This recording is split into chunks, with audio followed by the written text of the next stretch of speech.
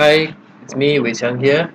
Today I'll solve a math problem that is a very common primary 4 problem and uh, this way of drawing the models and solving the question can be used across different kinds of questions as well.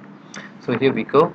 Um, 215 students at A, 353 students at B, number of girls at both students are the same, both centers are the same. So we can start by drawing A and B. The number of girls are the same, so we just draw a box to represent the number of girls and they are of equal size.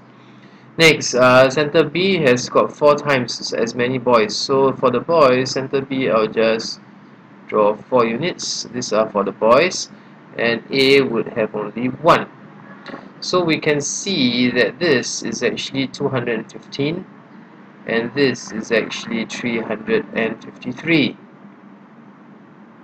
so we can see that this is actually hiding here and that's the concept that we want to teach the students here.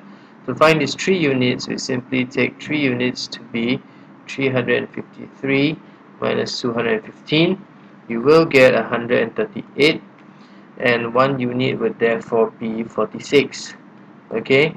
Um, to find the number of girls well I just have to take 215 minus away 46 here.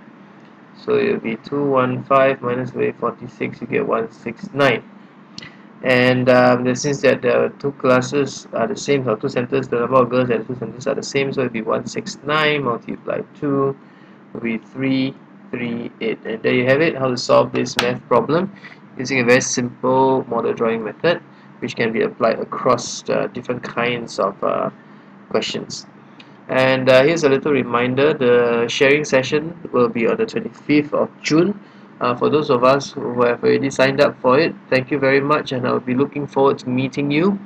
As for those who didn't manage to sign up well um, we will be conducting another one sometime soon I hope.